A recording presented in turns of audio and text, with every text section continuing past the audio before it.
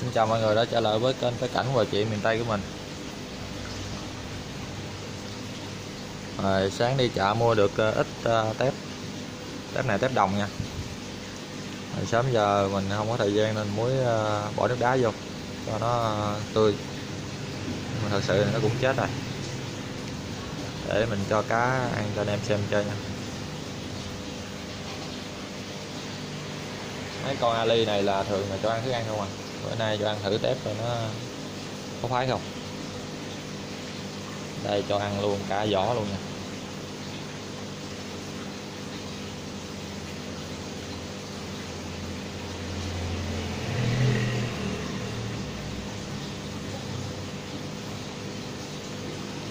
Rồi, cây luôn ngồi bén.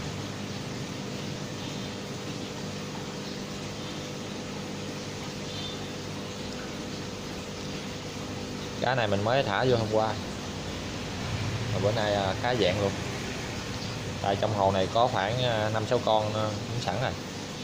Mình thả vô cái bầy sau khoảng ba chục con.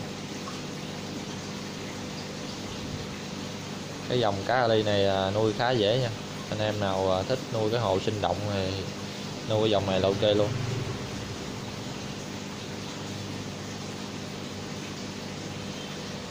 Mấy con này mình nuôi khoảng à, tầm hai ba tuần là nó có thể là sinh sản luôn. Nó có tập tính là đẻ con và ngậm trứng à, ấp trứng ở trong miệng. Thường thì con cái nó sẽ đẻ và con trống nó sẽ ngậm. Khi nào cá con nở ra thì nó sẽ nhảy ra.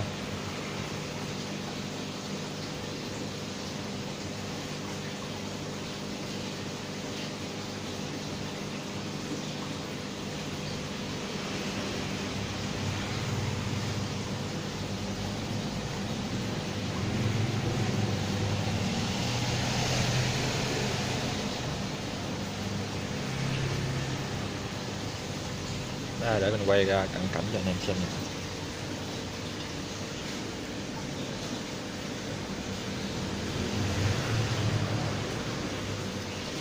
Wow, dành ăn dữ lắm luôn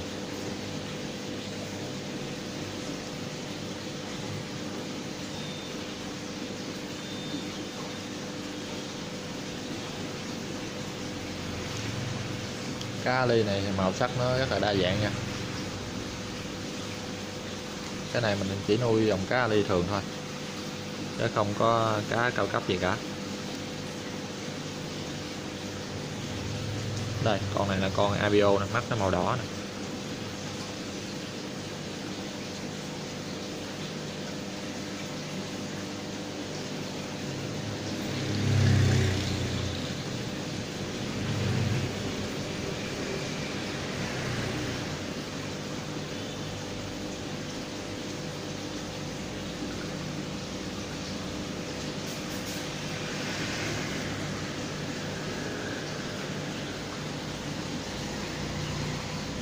Thử thả nhiều tép hơn coi.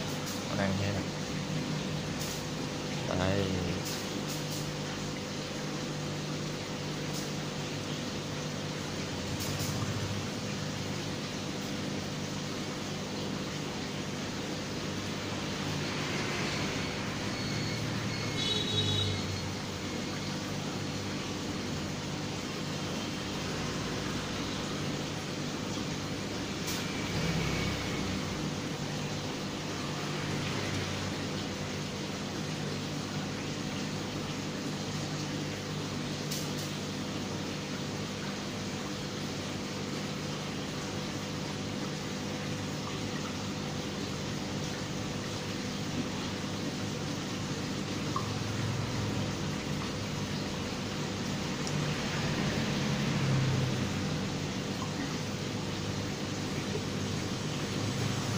Dòng cá này mày có thể à, nuôi trong nhà hoặc à, ngoài trời đều được nha.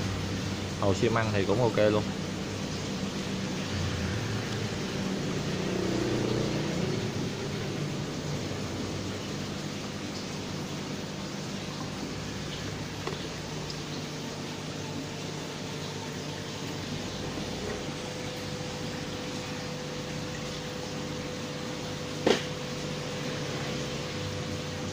Rồi, xin chào, hẹn gặp lại mọi người nha. Anh em nào có xem clip này thì à, đăng ký kênh ủng hộ mình nha.